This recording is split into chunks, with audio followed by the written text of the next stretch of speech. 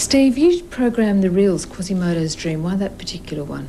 Um, I haven't seen this one for a long time. I hope it, it's as good as I remembered it to be.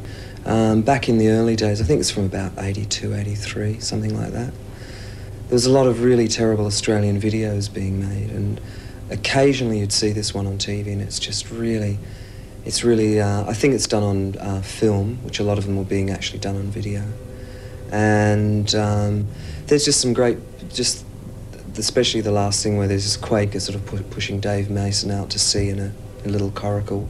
And there's the uh, the old drummer, I think Stefan, looking very sad, and Craigie Hooper looking sort of poignant. And the whole thing was just, I'm sure it wasn't done on a huge budget or anything.